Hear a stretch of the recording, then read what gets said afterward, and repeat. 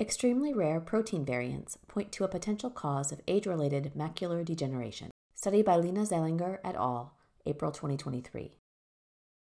The membrane attack complex, or MAC, is part of the immune system's complement cascade.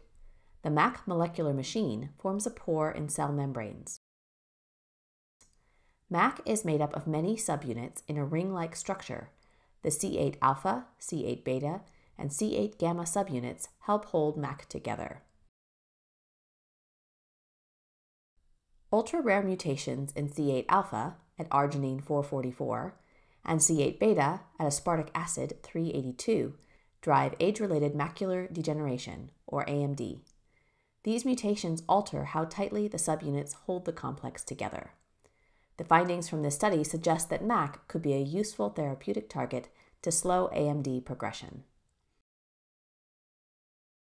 National Eye Institute, nei.nih.gov.